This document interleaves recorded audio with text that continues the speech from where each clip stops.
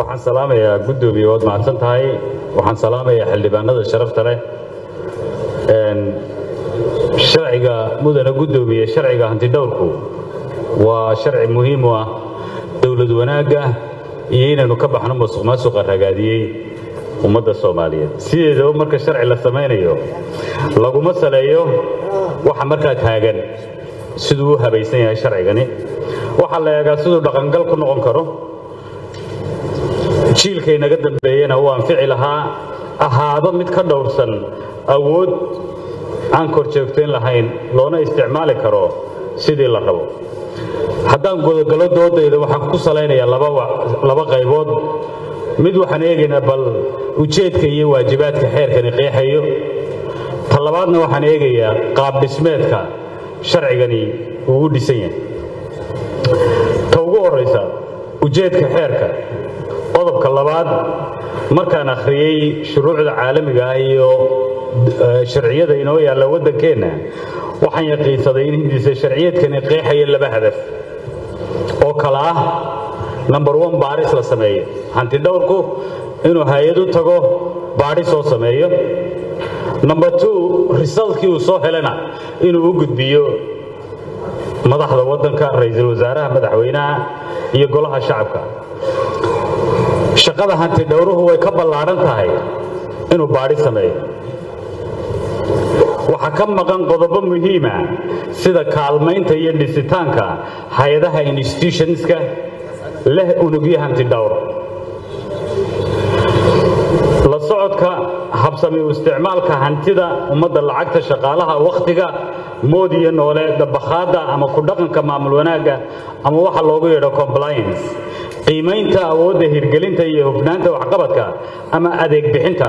Waxaa loogu yeedho performance evaluation maaraynta halista. Intaasoo dhammi waa shaqo ay hay'addani u xil saaran tahay inay ka kaalmayso lixdan iyo siyaadada hay'adood ee dowladdani ka kooban tahay. Haba yaraatee xeerkanina maaha mid taabanaya. Waxaadse mooddaa inuu ku kooban yahay. Inta xafiis la tago in la soo baadho.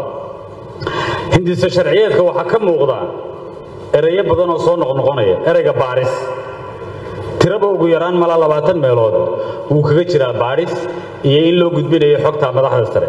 Waa duplication. Cutubka saddexaad qodobka shanaad ee cutubka labaadisna waa isku noqnoqonaya waa duplication. Waana in la midayaa mas'uuliyadda iyo waajibaadka hantidhowrka guud. Laguna kordhiyaa waajibaadka aan kor ku soo xusay qodobka lixaad waxaan la qabaa xildhibaankii igu horreeyey xildhibaan cabdiqani. Hantidhowruhu xisaabiye guud maaha. Shaquu leeyahay conflict of interest inuu ka dhex bilaabmo xisaabiyaha iyo hantidhowrkana maaha wax ku habboon inuu baarlamaanku uu ansixiyo. Waxaan ku talin lahaa sidii hore u qorayd inuu diiwaan geliyo foomka f oo uu xaq u leeyahay in loogu daayo laakiin laga reebo inta aan kharashaadka la bixin. Doodayda labaad. Waxaan eegaynaa qaabdhismeedka hantidhowrka siduu ugu qoran yahay xeerka xafiiska hantidhowrku sidiisaba maaha mid u in isolation. Keligii ma taagna maaha hay'ad keligeed iska taagan shuruucdan iyadu samaysata wixii doonaana ay ka soo baxaan. Wuxuu la jaan hay'ado badan oo caalami ah. Wuxuu ka tirsan yahay ururo bulshada dowladda soomaaliyeed ay falgal la leedahay kuwaasoo dhammaan dejiya. Astaamaha uu yeelan karo hantidhowr waana wax laysku waafaqsan yahay caalamka. Tiraba ugu yaraan afar hay'adood oo caalami ah ayuu hantidhowrka soomaaliyeed ka yahay member. Waa international organization of supreme audit institution. Marka la soo gaabiyana la yidhaahdo entosai.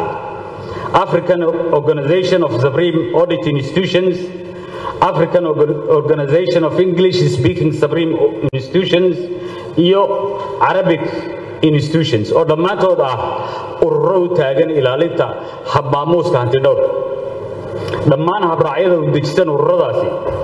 Sida ku cad habraaca lima declaration guidelines on auditing precepts and mexico declaration.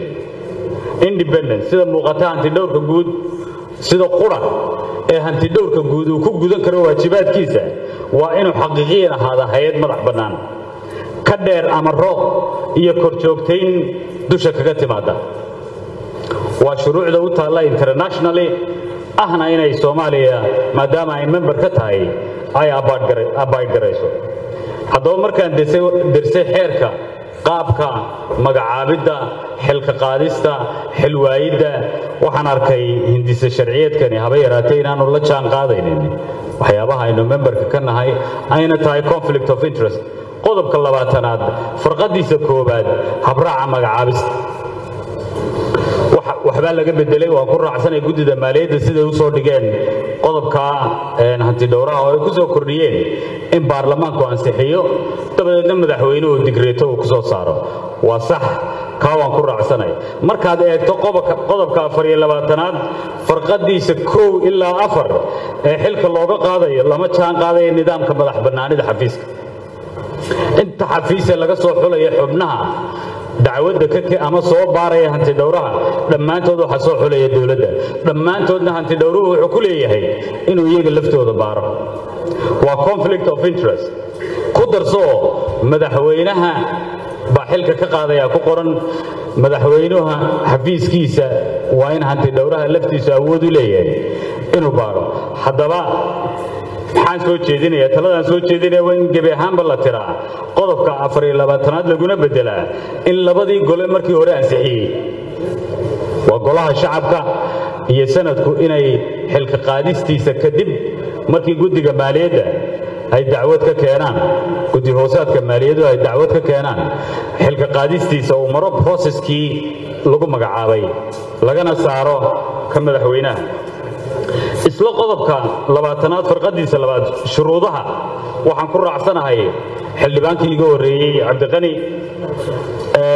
in la eego qaabka lagu soo ama shuruudaha lagu soo xulanayo hanti dhowraha. Qodobka saddex iyo labaatanaad xilwaayinta hantidhowraha guud. Qodobka afar iyo labaatanaad xilka qaadista hantidhowraha guud waan fahmi waayo waxay ku kala duwan yihiin. Waa laba qodoboo dhaadheer af soomaali ahaan labada kelmadood. Waxay ku kala gedisan yihiin xilwaayid iyo xilka qaadis.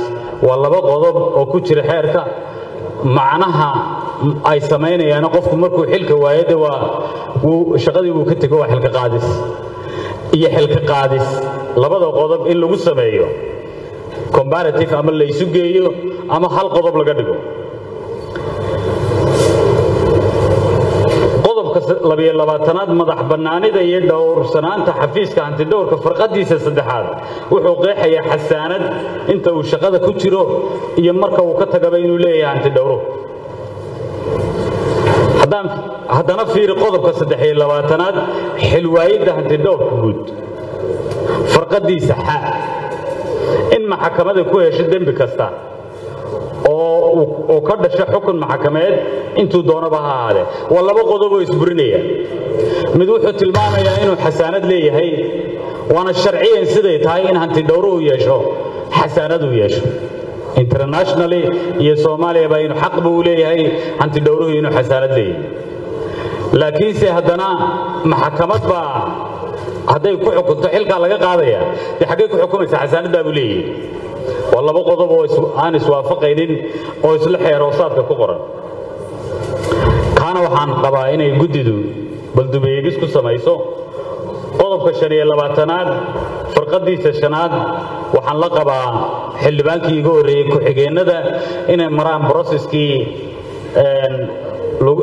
uu maray hantidhowruhu uu maray inay maraan isaga iyo qodobka lix iyo labaatanaad xilka qaadistoodaba broseska uu hantidhowruhu maro ayaa loo baahan yahay inay maraan. Waayo dee anaa soo magacaabanaya anaa soo keenaya ma abuurayno xafiis kale madax bannaan leh iskaashi iyo wada shaqayn. Qodobka toddobiyo labaatanaad shaqaalaha xafiiska. Dhammaanteen waynu ognahay shaqaalaha rayidkii lacagtay qaataan ma aha wax ku filan daboolaya baahiyaadkooda. Hanti dhowrka xafiiskiisa uu ka gedisan yahay shaqaalaha rayidka. Waxaan anigu soo jeedin lahaa maadaama ay u baahnaanayaan imkaaniyaad iyo dhaqaale si ay u baaraan lixdan hay'adood iyo siyaado. In kharashka ay ku howlgelayaan uu ka badnaado kan shaqada iyo shaqaalaha. Oo dhallinyarada ka shaqaynaysa ay noqdaan qaar ka caagan musuq maasuq maadaama ay haystaan wax daboolaya naftooda. Ugu dambayntii waxaa soo jeedinayaa dhowr talo oon xildhibaanada u jeedinayo. Xildhibaanada ugu horreyn waxaan kula dardaarmayaa inay si taxadir leh ay ku jirto mas'uuliyad. Wax ka beddel ugu sameeyaan waafajiyaana nidaam hufan oo dhaxalgal u noqda jiilka inaga dambeeya kaasoo qeexaya jaranjarada maamul wanaagga iyo korjoogtaynta mamnuucayana musuq maasuq kuma arag xeerka intaan akhriyayay qodob waajibinaya dhisitaanka internal audit unit oo halku ka bilaabmaba hanti dhowrka guud shaqadiisu hay'ad wal oo dowladeed inay samayso internal audit unit taasna uu hanti dhowrka guud ku dabagalo shaqada wasaaradda ka socota. Unugyadaasina ay noqdaan qaar ka madax bannaan jaranjarada wasiirka laakiin toos wada xidhiir ula leh hanti dhowraha guud. Warbixinta sanadlaha lixdan hay'adood iyo siyaado in hanti dhowraha guud waajibaadkiisu uu noqdo inuu hal mar warbixin keeno waxaan u arkaa inay dhiiri gelinaysa iyada lafteeda musuq maasuq simbali qofku markuu sanad joogo dee tegba hadduu wax qaatay iskaba dhaqaaji. Waxaa loo baahan yahay ugu yaraan minimum laba jeer inuu hanti dhowruhu uu baadho ama uu report ka helo. Hay'adaha ay tahay inuu baadho nambarka afraad waxaan ku eegayaa guddiga maaliyadda guddiga maaliyadda waa guddiga ugu faraha badan guddiyada ku jira baarlamaanka. Waxaanse dareensanahay inay u baahan yihiin kaalmo sharci xirfadlayaal kala shaqeeya sharciyada nuqullada ay soo gudbinayaanna iska eegaan. Intaanay golaha weynaha keenin. Waxaa ku jira khaladaad fara badan. Xeerkaa markaad eegto primary schoolka qofka dhigta uu fiirin lahaa nambaradan iswada dhaafsanaya waxa khariban ee meesha ku dhex jira. Waxaa xaqa inay guddidu la tashato bulsho weynta ama dad fahmaya shaqada ay ka shaqaynayaan وبالله التوفيق. اللهم بلغت به هاي قصة بكعي نوره. حلبان مهد عبد الله عود.